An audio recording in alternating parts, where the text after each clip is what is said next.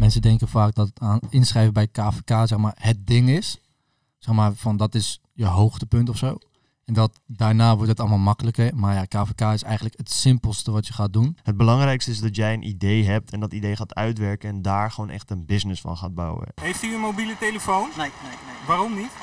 Nou, dat heb ik niet nodig, want eh, ik word toch niet eh, gebeld of zo. Het maakt niet uit. Jij moet voor het eind van de dag een business start hebben, anders knal ik je Hmm. door je kop.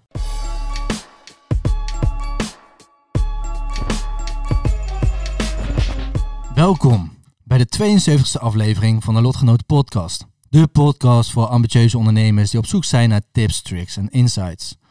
Mijn naam is Koen Stam. Ik ben host van de Lotgenoten Podcast, ondernemer en wat nog meer, studiecoach. Nee, dat ben ik ook. En tegenover mij zit, eh, en een focuscoach, zoals Jaro altijd zegt. Ja. En tegenover mij zit de enige echte Jaro Knoppert, co-host van de Lotgenoten Podcast, ondernemer en creative marketeer. Welkom, welkom, welkom, welkom Jaro. Dankjewel.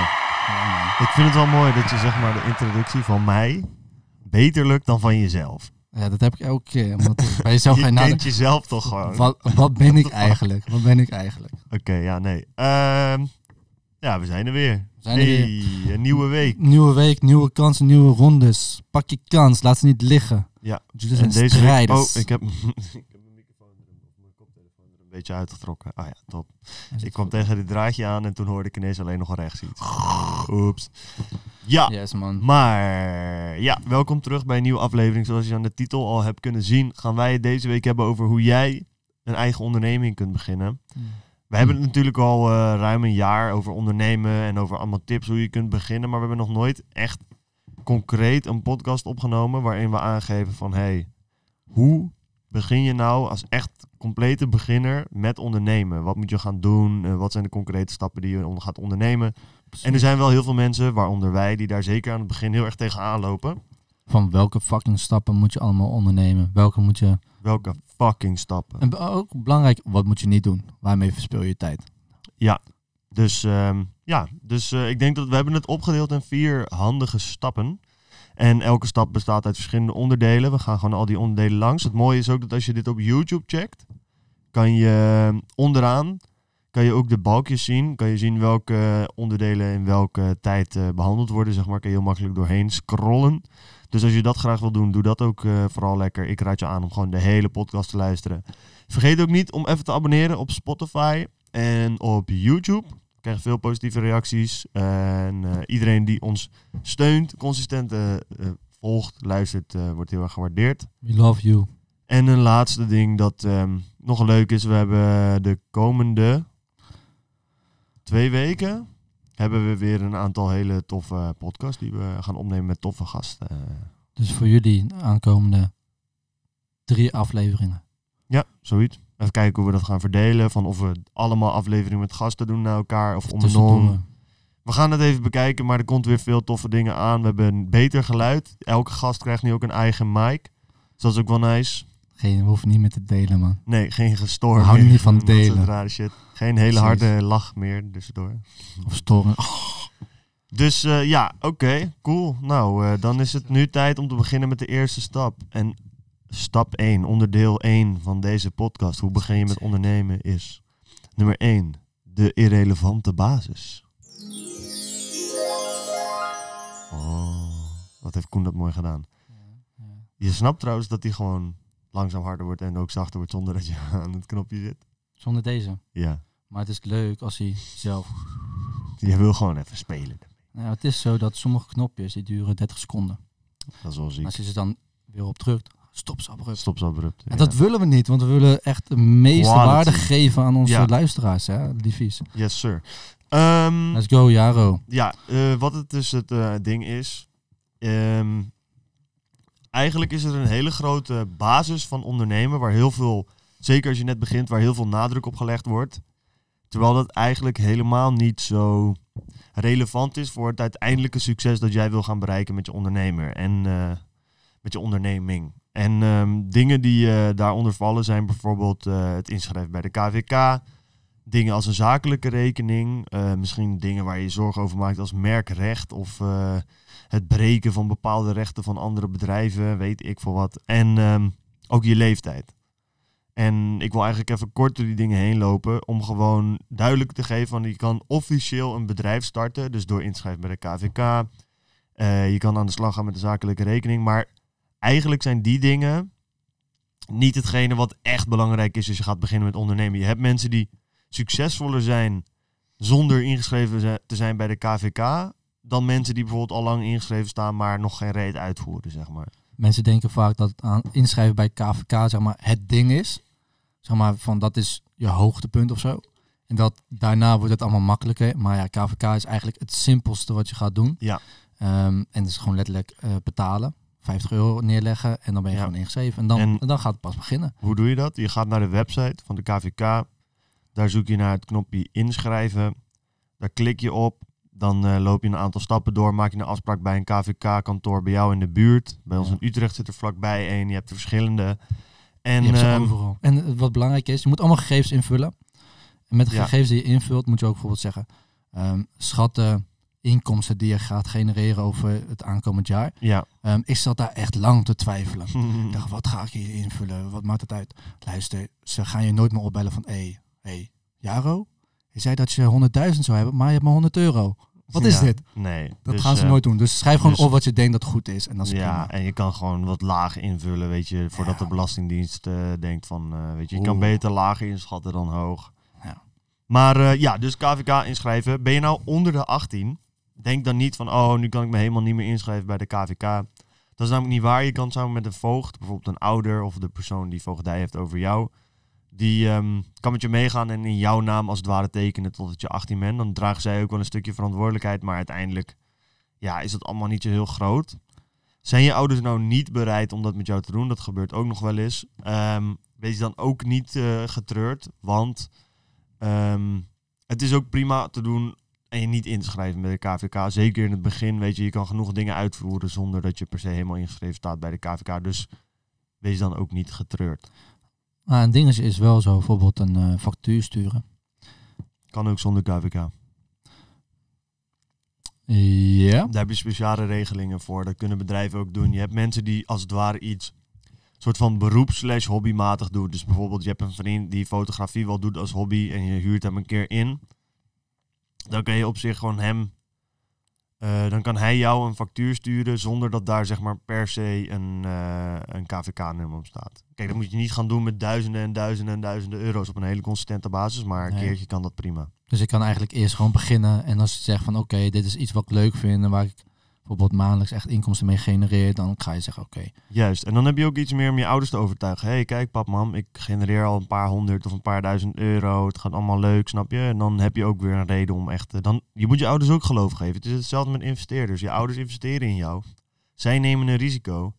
En als dat puur is omdat jij denkt dat je iets vets gaat doen... Ja, dan snap ik het ergens ook nog wel dat ouders denken... Nee, weet je, bewijs het eerst aan hun. Dat is Ze zijn belangrijk. beschermend. De ouders zijn beschermend. Dus dan denk ik ook luister, maar hey, je hebt nog nooit iets ondernemends gedaan. Dus Ja, en ze kennen het ook niet, snap je? Als je ouders niet zelf ondernemer zijn, dan zien ze dat als ze inschrijven bij de KVK ook als iets veel groter dan het is. Maar dat is dus En als je een website gaat bouwen, een website bouwen, nou ja, eigenlijk als je producten verkoopt op een website, moet je ook een KVK-nummer erop zetten. Eh, ja, dat is over het algemeen wel handig, maar daarbij weer hetzelfde. Kijk, als je gewoon kleinschalig aan de slag gaat en je kan echt niet aan een KVK-nummer komen. Weet je, als jij sneakers gaat verkopen, redelijk binnen je eigen kring en je wil daar een website bij, kan dat ook wel zonder KVK. Ja. Snap je? Ik bedoel, la- da- laat dat niet bepalen of je wel of niet gaat beginnen met ondernemen. Weet? Precies, oké. Zeker niet als je jonger bent. En als je ouder bent, ja, ben je gewoon die 50 euro, boom, gefixt. Ja. Zakelijke rekening is eigenlijk exact hetzelfde verhaal. Als je boven de 18 bent, kun je er zelf in fixen. Onder kan je het via een voogdij, eh, via een voogd fixen. Hetzelfde verhaal weer, weet je, wil dat nou helemaal niet lukken? Ja, dan kan je dingen cash doen, ehm, Paypal, of gewoon met je eigen rekening, weet je, in het begin. Tikje sturen. Tikkie sturen. Snap je? Het is misschien in het begin niet ideaal. Maar als jij wil ondernemen, dan moet je gaan leren werken met, met niet-ideale omstandigheden om daar het beste uit te halen.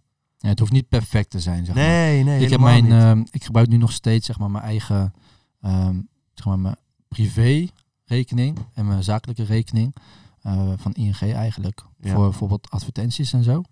Zakelijk gebruik je voor advertenties. Ja, terwijl het ook mijn persoonlijke account is. En dat is, ik heb wel twee andere rekeningen, maar daar gaan dus advertenties via op. Dus ik gebruik nog steeds mijn ING. Oh, je gebruikt gewoon een persoonlijke rekening daarvoor. Ja. Dus het is wel vervelend, merk ik nu ook. Ja, maar het is beter dan niet niks Het is doen. beter dan niks doen. Nee, precies. Oh. Dus dat, dat is gewoon heel belangrijk om dat te onthouden. Nou, dit zijn wat eh, dingen.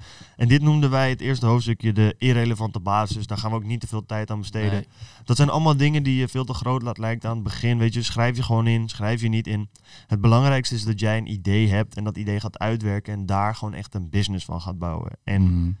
weet je, dat grote verschil in een zakelijke rekening wel of niet en zo, dat, dat, dat gaat vanzelf over. Dat maakt allemaal niet zoveel uit. Yes. Oké, Want eh, een fantastisch idee zonder zakelijke, zakelijke rekening doet het een stuk beter dan een kut idee met een KVK-inschrijving en een zakelijke rekening, geloof mij. en nog even een extra puntje. Waarom zou je inschrijven bij KVK? Is gewoon puur om het dus legit te maken. Ja, is verplicht. En ook Verplicht. uiteindelijk wel als je facturen, als je bepaalde dingen bij bedrijven wil aanvragen, dan, Dan vragen ze wel vragen vaak van oké, heb je een Mhm. KVK-nummer en zo. Dus, Dus- dus het is eigenlijk een beetje als het identificeren wat je doet bij eh, een club of als je gaat vliegen, maar dan als bedrijf. Ja, en dan moet je ook nog zeg maar de vorm van je bedrijf moet je aangeven voor bij KVK. Hou dat echt super simpel.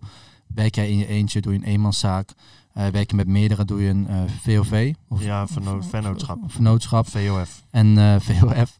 Lekker Koen.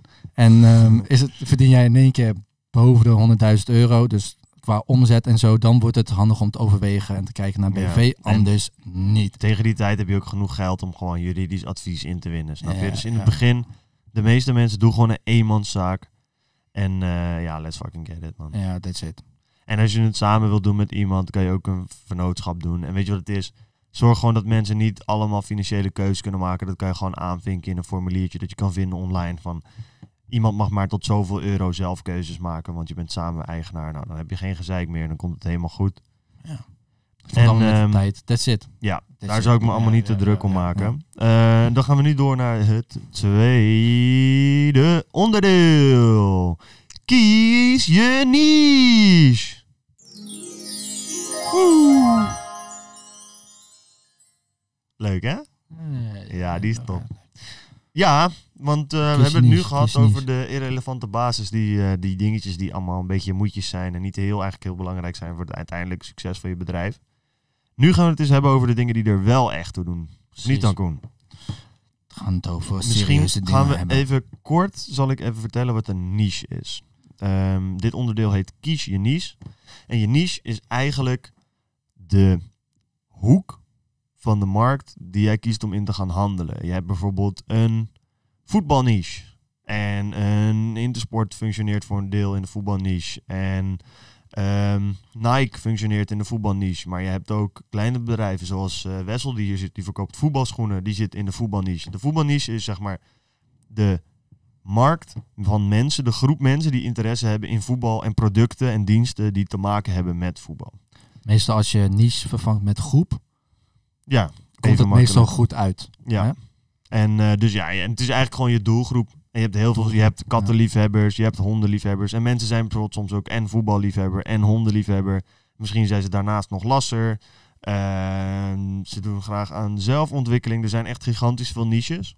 En ehm, ja, die moet je gaan, toch gaan kiezen. Van welk, welke markt vind ik interessant? Waar heb ik affectie mee?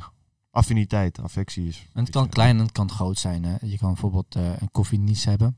Ja. Ehm, je kan ook een eh, zelfontwikkeling niche hebben. Ja. Ehm, en het is meestal wel... Je beauty niche, Beauty eh, niche. fashion niche. Het is een eigen term. Tenminste, het is voor jezelf om duidelijk te maken waar je jezelf op Ja. gaat richten. Het is niet zo dat heel het, breed. het kan heel erg breed zijn. Het kan ook heel erg... Maar het is het belangrijkste dat jij dat voor jezelf kiest, zodat je weet welke kant je op gaat. Ja, en een makkelijke manier om te ontdekken welke niche jou aanspreekt, is ga gewoon eens voor jezelf uitzoeken. hey, wat zijn nou allemaal producten en diensten die ik afneem eh, binnen welke niche? Als jij Ja. bijvoorbeeld heel vaak naar eh, de bankzitters of KSI kijkt, vind je misschien FIFA heel interessant. Dat is een voetbalniche. En dan misschien ook de game niche. Ja. Ehm, Wat heb je nog meer? Nou, zo heb je allerlei dingen. Glazen en, hoe noemen we dit? Voorwerpen. Hoe noem je dit? Voorwerpen, een eh karaf. Een, een, nee, maar wat een noem je dit allemaal? Wat voor niche zou dit zijn? Oh, dit is de, dit is de, huis. de home, zeg maar. Dus home niche. Ja, interieur en home. interieur niche. Ja, Home, home me- noemen ze dat. eh, is Home. vaak een beetje de internationale term. Maar de home niche, dus Dat zijn alle de dingen als meubels, maar ook accessoires, kleine prularia. Nou ja. Podcast is de ondernemersniche. Ehm, ja, onze podcast, ja, onze podcast spreekt heel erg echt de ondernemers niche aan. Ondernemers Ja. en zelfhulp. Zelfontwikkeling. Dus, en eigenlijk als je die niche gekozen hebt, dan dat kan je gewoon doen. Dus inderdaad een hele lijst opschrijven van wat zijn onderwerpen die ik tof vind en welke niche valt daaronder. Ja. Kan je daarna eens gaan kijken, oké, wat is er nou gaande in die niche? Ehm, ons viel bijvoorbeeld heel erg op dat in de eh, specifiek, wij zaten eigenlijk te kijken, oké, in de ondernemersniche willen wij dingen doen wat wij houden van ondernemen. Vervolgens ehm, in de podcast space, iets waar wij ook veel naar luisteren en waar ook ondernemers veel gerepresenteerd zijn. Wat is daar nou iets dat mist of waar wij meer kunnen doen? En wij vonden dat er eigenlijk alleen maar mensen zijn die al vertellen terwijl ze succesvol zijn. Ja. En niet echt duidelijk hun weg weergeven van hoe ben je daar nou gekomen. En eh, wij dachten van het is leuk om gewoon elke dag, of elke dag, elke week jullie mee te nemen in ons avontuur dat wij hebben als ondernemers. Heel erg eigenlijk meer als een vriend die naast je staat en het met jou meemaakt dan iemand die jou daarin begeleidt als daadwerkelijk een mentor. Elke dinsdagmiddag hebben we even een gesprekje samen van hey, hoe is het nou eigenlijk gegaan? Wat, waar ben je, eh, waar ben je nu mee bezig, bro? Ja. En kijk, eigenlijk drie. Oké, als je niet weet wat je wilt ondernemen, volg deze drie stappen. Allereerst, zoek iets van 10, 15 niches. Dan kies je de top drie uit, die je het meest interessant vindt. En stap drie is, op social media, op Instagram, Facebook, TikTok, ga je zeg maar alles daarvan kijken wat je erop kan vinden. En dan weet je steeds meer voor jezelf wat duidelijker van oké, dit vind ik echt leuk en hier wil ik wat mee gaan doen. En dan, eh, ja, dan komt het helemaal goed. Ja, toch? Ja. Dat is tenminste wel hoe ik het met alles heb gedaan. Want als ik iets interessant vind, ga ik dat gewoon eerst alleen maar volgen, alles ervan kijken. Jij Ja. doet dat heel erg met YouTube. Mhm. Ik heb bijvoorbeeld met stoïcisme dat ik echt alles volg Ja. qua, qua internet. Ook met tips Ja. en productiviteit vind ik hartstikke leuk om die korte films te kijken. Voordat ik een uur ga kijken naar zo'n gast die ik nog niet ken. Ja. Dus dat. En als je nou zegt van ja, ik heb eigenlijk helemaal geen hobby's en passies, ik wil gewoon ondernemen. Eh, dat kan toch ook? Moet je kijken wat. Hmm, waar ligt je kracht? Of wat vind je leuk om te ontwikkelen? Dat meer. Ik wil gewoon geld verdienen. Je wilt geld verdienen. Ik wil gewoon een dikke Lambo rijden, geld verdienen. Dat, dat is eigenlijk wat ik wil. Want ik zie iedereen op social media dat doen. En dat is toch wel iets waar ik ook van droom. Eén, dat kan wel gewoon. Als je dat, als je dat heel erg, als dat een intrinsieke motivatie is. Mensen zijn zo rijk geworden. Op lange termijn Maar weet wat ik moet niet. ik dan gaan ondernemen? Want ik kan niet een lijst maken met mijn passies. Ja, passies is geld. Dan ga je gewoon kijken naar, oké, wat zijn producten die heel goed verkopen. Oké. En dan zou ik eh, bijvoorbeeld, eh, wat tegenwoordig wat meer trending is, bijvoorbeeld high-ticket eh, producten gaan verkopen. Jij zit echt met dat high ticket, hè? Dat vind ik echt heel grappig. Ik vind dat wel, ik vind dat zelf heel erg interessant. Ja, heb je al nagedacht over de retourtjes? Eh, geen retour. Ja, Adres onbekend. High ticket is interessant. Dat als je na gaat denken over retourtjes. Ja, Maar dat is niet, dat hoeft het niet over te hebben. Maar dat, eh, dat is echt best wel een groot ding. Weet je, als mensen voor 5000 euro iets bij je kopen, super chill. Maar als mensen er volgens retourneren, Ja. dat zijn ook ineens veel grotere kosten. klopt. Maar je hebt wel minder klanten nodig. Ja, maar drie retourtjes en je kan failliet zijn in het begin. Zeker. Dus dat, maar ja, dat is, eh, maar ja, dat is zeker waar jij, kijk, je kunt, Maar je zijn gewoon natuurlijk mensen ja. die gewoon ondernemen omdat ze willen ondernemen. En ehm, ja, dan is het gewoon heel goed mogelijk om inderdaad gewoon te kijken waar valt nu veel geld te verdienen. En dat zijn dingen als, eh, ja, dropship is dat een lange tijd geweest. Het begint nu een beetje wat meer. Je moet nu harder je best doen in dropship om er echt veel geld mee te verdienen. Maar Het kan nog steeds. ik zou zeggen, ga dat dan anders. gewoon daar checken. En daarnaast ga ook je best doen om, om toch die passie te ontdekken. En dat doe je gewoon door allerlei dingen te gaan proberen. En dan zie je vanzelf, oké, ik heb ook een hele lange tijd in een product eh, gezeten waar ik niet 100% allemaal passie in had. En ik merk toch wel dat het voor mij belangrijk is om dingen te doen waar ik echt passie bij voel. En ehm, ja, zodoende eigenlijk. Kijk, wat ik eh zo dan toepassen zou... eh, kijk, je weet niet wat je wilt, maar je wilt wel ondernemen. Doe dan gewoon een spaghetti-strategie. Ga bijvoorbeeld dropshippen en probeer gewoon heel veel producten uit. Kijk wat naar een winnend product en ontwikkel dat verder. Wat is de spaghetti-strategie? Spaghetti is eigenlijk dat je... Meestal gooi je spaghetti tegen de muur aan, toch? Ja, Als het goede spaghetti is, blijft die aan de muur ja, als die goed gekookt is. goed gekookt is, ja. Klopt, ja. En eh, spaghetti dat zeg maar zwak is of slap, dat valt dan eerder naar beneden. En de, de spaghetti die aan de muur blijft hangen, is jouw winproduct. Het is volgens mij een Amerikaanse term. Wij kijken heel veel Engelse en Amerikaanse shit. Dus dat is, Ja, is dat see if it sticks to the wall. Dat is om te zien of, het, of spaghetti goed is. Oftewel of een Ja. idee goed is. Van see if it sticks to the wall. Dus daar komt dat vandaan. Maar inderdaad, ga gewoon shit proberen. Weet je, het enige wat je Ja. kan doen is gewoon... Je kan niet het perfecte idee starten. Dat hebben we al vaker gezegd. Dus als jij dit nu kijkt en je denkt van... Oké, ik hoef me niet meer in te schrijven bij de KVK. Sick. Eh, ik hoef ook geen zakelijke rekening te hebben. Boom. Oké, die twee blokkades zijn weg. Ik ga vandaag beginnen. Ah, kut. Ik weet eigenlijk niet helemaal niet zo goed wat ik vet vind. Oké. Je hebt vast wel eens nagedacht over iets wat je tof lijkt. Misschien vind jij... Kijk je naar 433. Denk je van 433 is sick. Start een voetbal Instagram pagina. En kijk hoe je daarin kan gaan groeien.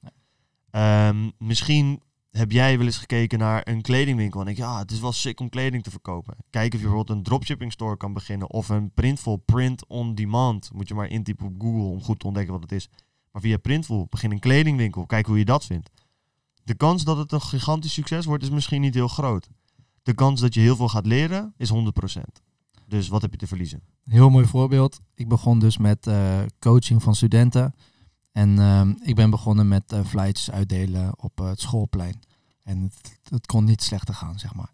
Dus, maar dat was wel het begin. En vanaf daar wist ik wel van, oké, wat moet ik wel doen? Wat vind ik niet fijn? Wat vind ik wel fijn? Hoe Ja, ik me verder ontwikkelen? Dus als je eenmaal begint, weet je de eerstvolgende stap. Juist. Dat is het. dus dat. En ehm, kijk nog heel concreet, want nu heb je dus van oké, hoe kies ik een niche? Wat kan ik gaan doen? Zoek het heel dichtbij en ga gewoon dingen proberen. Het hoeft niet altijd allemaal zo groot dat je helemaal een eigen product laat ontwikkelen met de dingen als dropshipping, Printful, YouTube, Instagram, je telefoon. Stel je gewoon in staat om heel makkelijk content te kunnen maken. Heel makkelijk kledingmerk te ontwikkelen zonder dat je er heel veel kosten voor maakt. Heel makkelijk producten te gaan verkopen zonder dat je daar heel veel kosten voor maakt. Er zijn allemaal dingen die je kan doen. Je kan op Fiverr jouw skills als photoshopper of video editor gaan verkopen. Er zijn heel veel dingen die je laagdre- laagdrempelig kan doen zonder dat je daar gelijk 10.000 euro in hoeft te stoppen. Of 2000 euro of 500 euro. Mhm. Dus zoek naar de low-hanging fruit en ga daarmee aan de slag. Want dan kan je ook makkelijk leren. Kijk, wij beginnen nu langzaam eh, het geld, de kennis te krijgen om aan projecten te beginnen van een paar duizend euro. Waar we gelijk vanaf het begin wel wat meer, wat harder voor gaan. Maar wij zijn nog steeds kinderen. Want er zijn ook mensen die een brand opstarten en dat met twee ton, twee ton doen. En zeggen van ja, we hebben een klein budget van twee ton. Ja, Mhm. weet je, dat is gewoon dingen waar je naartoe moet groeien. Dus, en dat heeft ook met skills te maken. Ja. Want je kan wel denken, ja, ik moet dat perfect hebben. Net als die lancering van Gymshark, dat was fucking vet. Maar Gymshark heeft jaren ervaring, miljoenen, miljoenen euro's aan fouten kunnen maken om die les te leren. Als iemand jou nu een ton geeft en je hebt nog nooit ondernomen, de kans dat je het dan gewoon verneukt is vrij groot. Ja. Gymshark heeft ook gewoon de eerste, wat was het, eerste 10, 15 producten waren helemaal niks. Nee, en gewoon Hij heel zat erg er- thuis zat genaaid, heel erg low genaaid. budget. Hij, was- hij zat nog op de Unie. Snap Juist, je? ze Dus hebben het meest gehaald uit heel erg weinig. Het maakt allemaal niet zo heel veel uit. Je moet gewoon beginnen. Je weet de eerstvolgende stap. En na die stap weet je weer wat de volgende stap Ja. gaat worden. Dus Dus ja, je weet nu, ja, je weet nu, je hoeft niet naar de KVK, je hoeft niet de zakelijke rekening. Je hebt een niche gekozen die je tof vindt of waarin je denkt, hey, hier kan ik geld verdienen. Denk daar niet te lang over na. Actie is the word. Nu gaan we naar het derde en belangrijkste onderdeel van vandaag. Misschien wel het belangrijkste, wie weet. En dat is zoek een kans. wat een mooie kans.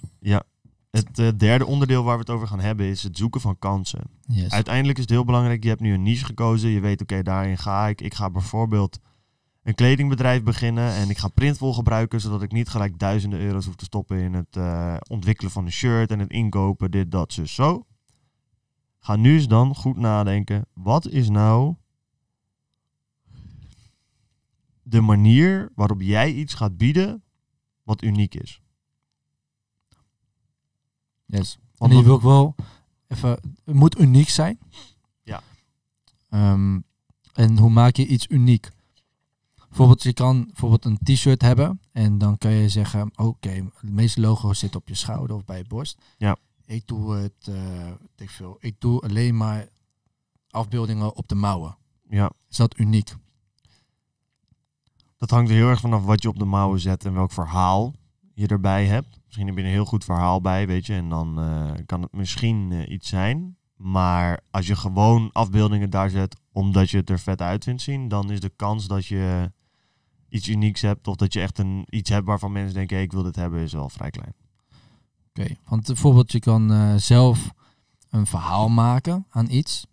Hè, je, je story als het ware. Mhm. Je gaat zien hoe verder jij in die business komt. Hoe groter de story wordt en hoe belangrijker Ja. dat wordt. Ehm, denk je niet in het begin dat je gewoon inderdaad gewoon moet gaan kijken van oké, wat vind ik vet? Dat gewoon uitproberen. Hoe reageren mensen erop? En dan Ja, ja. daar iets speciaals van maken over tijd? Ja, en, of en denk je het moet gelijk heel erg speciaal zijn? het hoeft niet gelijk super speciaal. Wat wel heel belangrijk is, is dat je heel eerlijk tegen jezelf al bent. Zodat je zeg maar de standaard dingen een beetje kunt voorkomen. Wat je bijvoorbeeld heel veel hebt. Sorry hoor. Beetje verkouden. Ehm, is dat mensen beginnen aan een eh, bijvoorbeeld een nieuw kledingbedrijf. En dan maken ze gewoon een shirt met daarop het woord liberté, weet ik veel. En dan dat staat dan zo hier, weet je wel, zo ingenaaid. En dat vind jij dan fucking dope. En dan denk je van wauw, dit is sick, sick, sick. Dan een standbeeld van Liberty Statue en dan hier in zo'n theezakje. Liberté. Ja, dat, dat kan. Dat zou trouwens wel al unieker zijn. Een beetje raar. Maar, maar je ziet nu dat er heel veel gewoon van die merken zijn met een naampje op een t-shirt en that's it. Maar ga nou eens aan jezelf vragen. Hey, stel je voor, ik scroll op Instagram en ik heb dit nog nooit gezien. En iemand komt er tegen. Waarom zou ik dit dan kopen? Mhm. En datzelfde is als jij, weet ik veel, een nieuwe soort koffiecups op de markt gaat brengen. Mhm. Of je moet jezelf afvragen, als iemand dit ziet, die dit nog nooit gezien heeft en mij niet persoonlijk kent, waarom zou iemand dat in kopen? Ja. En het antwoord, ja, ziet er toch vet uit. Dat is niet genoeg, want de kans dat jij zo'n goede designer bent, dat je dingen maakt die iedereen ineens fucking vet vindt, ja, dat is gewoon, daar zou ik niet op eh, gaan gokken. Nee. Maar oké, bijvoorbeeld hè, ehm, we zeggen, pak even, we moeten even een niche pakken, ja, als voorbeeld. Ehm, je had net al iets van voetbal genoemd. Voetbal. Dus we hebben een voetbalniche. We kunnen wel even de, de, de scenario van Wessel tekenen. Precies. Ik denk dat dat een goed concreet voorbeeld is. Van Dus- Dutch Boot Collector. Die is hier ook geweest. Hij komt binnenkort weer. Precies. En hij heeft in zijn jeugd bij FC Utrecht gevoetbald. Ehm, daar is een passie ontwikkeld voor voetbal. Ja. Ehm, ook een passie gehad voor voetbalschoenen. Over Ja. tijd verzameld voor zichzelf. En toen zag hij op een gegeven moment van nee, maar de schoenen die ik inkoop, kan ik voor een best wel leuke prijs weer verkopen. Ja. Oké, dus wat nou als ik dit gewoon een keertje ga uitproberen? En hij had dus onbewust voor de voetbalniche gekozen. Ja. En hij zit eigenlijk over tijd, hij is best wel goed in het inkopen en verkopen van die schoenen. Ja, en, en wat, het dus, wat bij hem dan dus hetgene is wat het uniek maakt, Ja, is... Hij is niet een nieuw voetbalschoenenmerk begonnen waar, waar mensen komen hem tegen en denken, ja oké, blijkbaar is dit weer een nieuw voetbalmerk. Nee, hij heeft schoenen gepakt die iedereen zich herinnert van vroeger, waar je bijvoorbeeld in gespeeld hebt toen je bij de D'tjes voetbalde, waar je Ronaldo mee zag voetballen al toen hij nog bij Real speelde, weet ik veel, dat soort dingen. ja, En die vindt hij in goede staat en biedt hij aan voor een goede prijs. Ja. Dus jij ziet iets wat nostalgie heeft voor je, waar je waarde aan hecht en dat kan je bij hem kopen. Dus dat is de kans die hij zag. hey, er zijn heel veel klassieke voetbalschoenen voor een goede prijs te koop, maar de waarde die mensen eraan bieden is hoger dan waarvoor ik het kan inkopen. Dus mensen zien dat en denken, dit is fucking vet, dit wil ik hebben. een soort van wow-effect. Zo van, je ziet het en denk je, denk je wauw, dat waren die schoenen die ik aan had toen ik 12 was en waar ik voor het eerst bij de profs mocht gaan spelen. Of wauw, dat, zijn, dat is die shirt van mijn favoriete speler van 30 jaar geleden. Ja. Ik denk dat je toen nog niet bestond. Maar ehm, zo kan het wel zijn. En het is net bijvoorbeeld met Pokémon kaarten. Dat is nu ook weer een heel ding aan het worden. En dat, daar is tijd overheen gaan. Wat je vandaag net zei, retro, komt ook wel weer terug. Noem eens een voorbeeld van wat je tegen mij zei. Ja, wat ik zag is dat bijvoorbeeld Lamborghini eh, nu weer een auto heeft ontdekt, de nieuwe, ik ben even de naam Centaur of zoiets. Maar in ieder geval die nieuwe Lamborghini die binnenkort uitkomt, die nu eh, rondgaat over het internet, die is heel erg, best wel een beetje retro gemaakt. En daarbij hebben ze dus waarschijnlijk gekeken naar, oké, wat zijn trends die spelen binnen fashion, binnen hoe mensen zich gedragen, hoe autodesigns eruit komen te zien. En dan komen ze uit op dat dit een design zal zijn dat zeg maar weer, eh, ja, in, in zal zijn. Wat mensen graag zouden willen hebben. Ja. Oftewel, er wordt goed nagedacht. En kijk, Lamborghini is nu natuurlijk al wat verder. Als je, is echt best een wel nieuw, groot. Als je een nieuw tuurlijk. merk bent, heb je nog meer te bewijzen. En ehm, het is gewoon heel belangrijk dat als mensen het zien, dat ze denken, hé, hey, hier heb ik wat. Weet je, met onze podcast hetzelfde. Mensen komen er tegen en moeten denken, hé, hey, dit is eigenlijk altijd waar ik al naar zocht. Ik ben altijd maar aan het luisteren naar mensen die er al zijn. En het zijn toch altijd een beetje niet concrete tips. Hier zitten twee gasten die in dezelfde schoenen staan als ik. Misschien zijn ze drie stapjes verder. Zij geven mij tips waar ik echt op dit moment behoefte aan heb. En niet van die grote, overkoepelende, vage, motiverende zinnetjes en dingen waar je eigenlijk als je echt concreter mee aan de slag wil, er helemaal niet zoveel aan hebt. Ja, geen nuances. Dus dat zijn voorbeelden van dingen dat jij dus echt gaat nadenken van, goh, wat is nou de meerwaarde die wij kunnen bieden? Moet je dat direct vanaf het begin doen?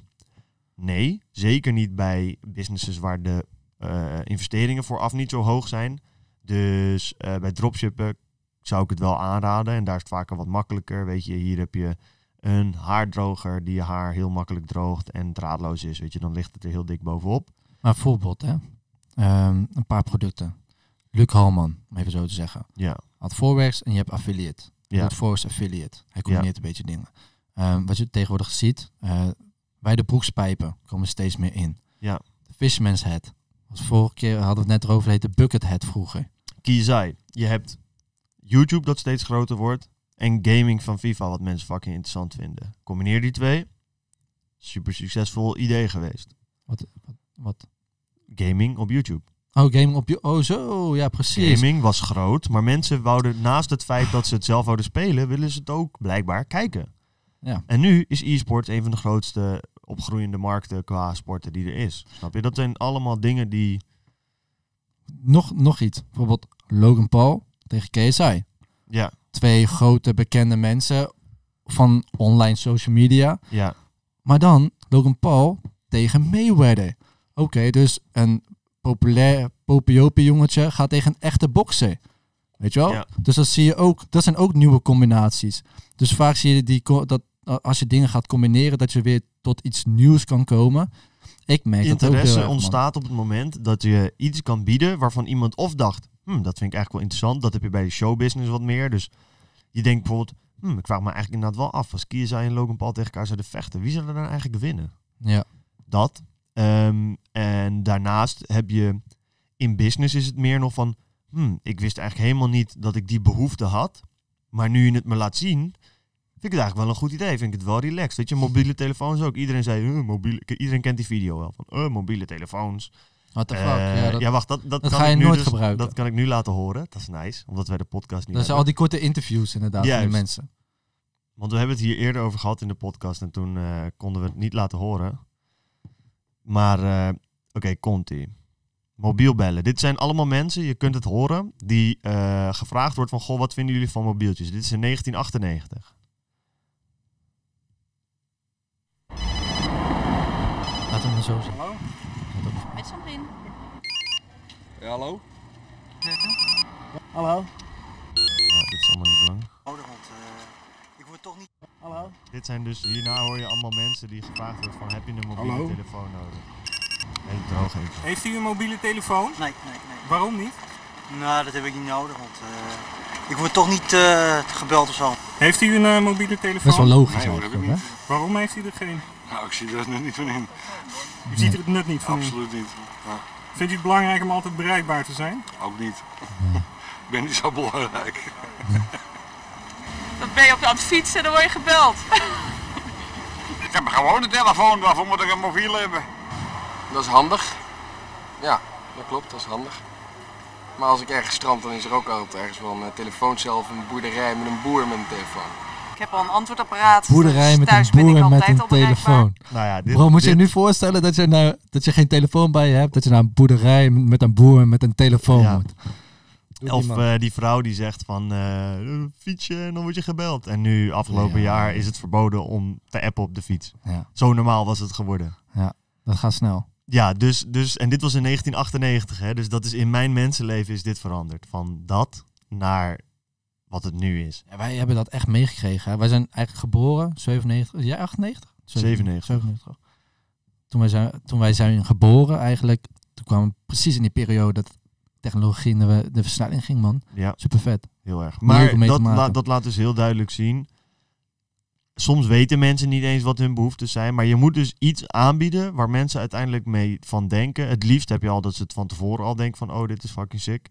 Eh, en in dit geval dachten mensen van tevoren eigenlijk van, ik heb het niet nodig. En als ze het eenmaal gaan gebruiken, dan uh, raken ze verslaafd.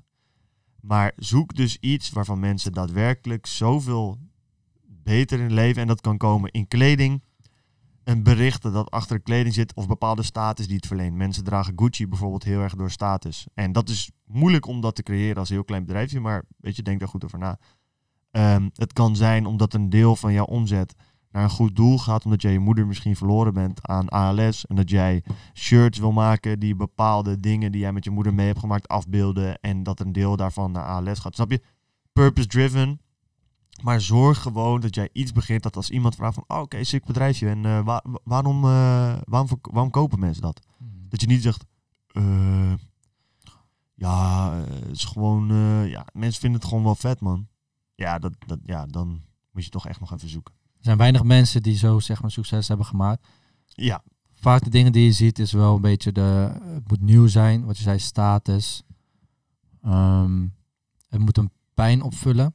Dat werkt vaak ook wel goed. het, is, het moet Emotionele waarde. richting plezier of weg van pijn. En weg van pijn zijn producten zoals één seconde. eh, zo ja, lekker. Nu heb ik echt. Wat, wat zeg je? Ja, dat, dat zeg maar een goede propositie. Die beweegt iemand weg van pijn. Ja. Dus weg van een frustratie of irritatie die die heeft. Of naar meer plezier en genot. ja, precies. En ehm, dus drugs. ja, een beetje een heftig, heftig eh, voorbeeld. niet doen. eh, eh, nee, dat, maar bijvoorbeeld Wesselse schoenen die die verkoopt, klassieke voetbalschoenen, brengen je dichter bij een plezier. Je kan, weet je wel, je identificeert je meer met je oude speler. Je kunt op het voetbalveld laten zien dat jij die gast bent met die oude schoenen. Eh, het is een stukje persoonlijke waarde. Je kan terug naar die tijd. Nou, dat. Of een stukje eh, van pijn afbewegen. Wij hadden bijvoorbeeld onze vorige microfoons waren heel veel geregeld, moeilijk af te stellen. En deze set heeft juist als waardepropositie plug and play. Steek hem erin, begin met lullen en het klinkt perfect. Ja. En dat is de waarde. Wij, zij hebben ons wegbewogen van een pijn, namelijk de frustratie van al die microfoons. En dat hebben ze opgelost en wij hebben dit nu gekocht. Wat ik doe met coaching. Dat is ehm, bijvoorbeeld de pijn wegnemen van te weinig tijd hebben voor eh, Ja. je vrienden en familie. Of telkens hard werken, maar alsnog lage resultaten krijgen. Ja. Ehm, dat zijn dingetjes die mensen graag niet hebben. Daar kan je op inspelen. Ja. En dan kan je gelijk weer gebruiken ook voor je marketing later. Maar daar hoef je nu nog niet over na te denken. Nee. Eh, ja, ik denk dat we nu best wel een eh, duidelijk beeld hebben van wat je kan gaan doen qua ondernemen. En dan komen we eigenlijk bij het laatste punt. En dat vind ik het allerbelangrijkste punt. Dat zei ik net al, maar nu meen ik het echt. Oh. En dat is. Move before you're ready.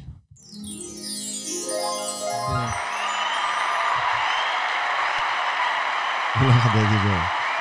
Zie dit is best wel lang. Maar dit, dit wat langer, ja. Ja, maar dat is wel gewoon cool. Oh, vind je dat cool? Eh, ja, dat is het, het laatste onderdeel is move before you're ready. Heel simpel.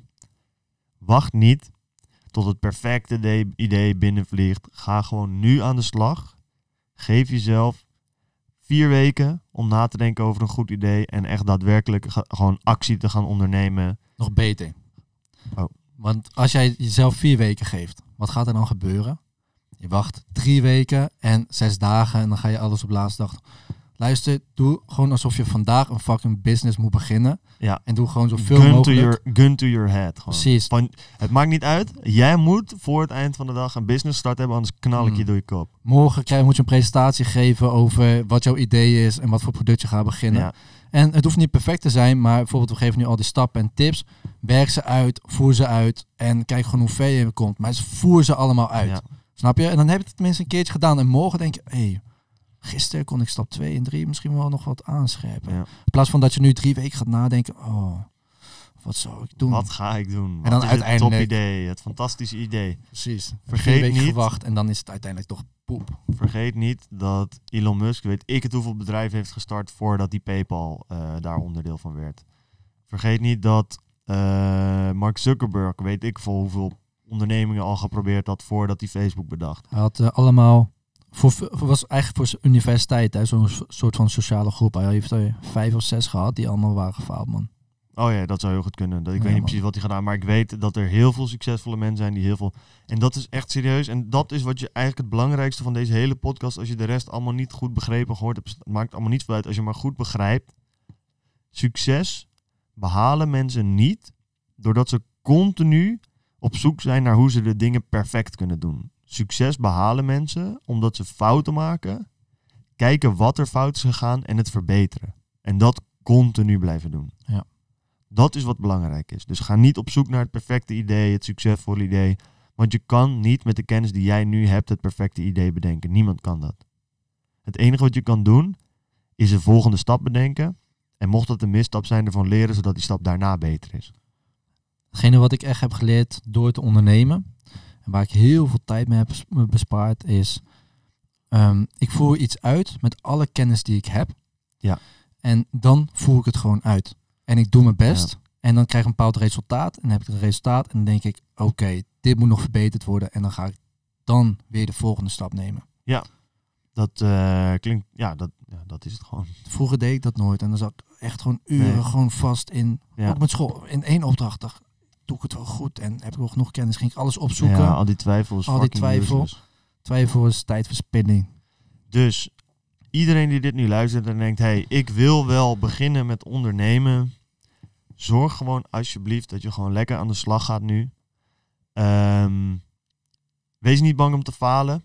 Voel ook niet alsof je, als je ondernemen uitprobeert, je verplicht bent om daarna te gaan ondernemen. Je kan gewoon lekker gaan uitproberen. Weet je, je hebt ook gevoetbald, misschien daarna gehockeyd. Zoek gewoon de dingen uit. Ervaar het ondernemen. Misschien vind je het niks, misschien faalt het. Het is alleen maar goed. Ja. Dus eh, ja, eh, klaar voor de start af. Ik denk ook nog hè, voor, voor de mensen die zeggen van ja, maar Jaro en Koen, jullie weten best wel veel. En ik moet zeggen, nou, dat valt reuze mee. Maar ehm, ik, ik, heb Koen- echt Koen jullie valt hulp mee. nodig. Ik weet wel echt fucking veel. Ja, precies. Hoor degene die het zegt. Weet je wel genoeg. Nee. Maar als jullie nou zeggen van hé, maar ik heb echt jullie hulp nodig en ik wil daar ook in investeren. Ehm, waarschijnlijk gaan Jaro en ik eh, binnenkort ook eh coaching trajecten doen. Yes, Ehm, sir. en dan vragen we een bepaalde investering en vragen veel van jou, tijd en moeite. Ja, Ehm, de maar- grootste investeringen die je moet doen is tijd, inzet en moeite en een klein stukje financieel. Maar dat zal niet, eh, dat, zeg maar, als je daarover valt, ja, dan zal je inzet en zo ook wel niet goed zijn. Dus eh, Maar daar zijn we dus wel mee bezig. En we merken dat daar best wel veel vraag voor is. Ja. Ehm, dus als jij zegt van nou, daar heb ik echt interesse in, ik heb dat nodig en ik wil graag eh, die begeleiding hebben, eh, stuur ons een DM.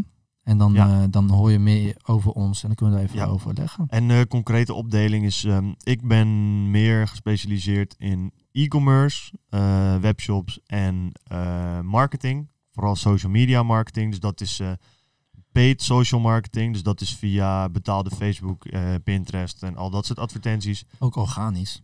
En organisch ook, maar dat Ja, is ja. meer organisch kan je ons beide wel voor gebruiken, snap je? Daar zijn we beide, maar ik bedoel meer Oh. mijn specifieke specialismes, Koen specifieke specialismes liggen eh, in het cursus, het geven van trainingen, ehm, Productiviteit, focus. productiviteit, focus. Ja, echt eigenlijk veel meer ook nog naast het bouwen van de business zelf, het bouwen van jou als ondernemer. Daar heb je bij Koen ook echt een, eh, een goede aan. Ja, en eh, bijvoorbeeld inderdaad wat jij zei, websites bouwen. Ja. Ehm, Laten we het opdelen van ik dat is wel kan leuk, je voor ja. een heel groot deel helpen met het bouwen van je onderneming. Koen kan je nog veel beter helpen met het bouwen van de ondernemer die jij zelf bent. Oh, oh, oh. Dus focus, Leuk gedeelte. focus jij zelf mentaal. Daar is Koen echt een fucking kei in. Planning, alles wat echt cruciaal is. En ik, samen met Koen natuurlijk, eh, kan je echt veel meer helpen met eh, echt die business structuur geven en gaan met die banaan. Golden combination. Yes. Yes. Let's go. Oké, dat, waren het, dat waren eigenlijk de vier gouden tips van Jaro en Koen, de Lotgenoten podcast. Jij weet nu hoe je moet beginnen met ondernemen. Als je voor het eerst luistert, want ik verwacht dat dit veel nieuwe oren en ogen gaat bereiken.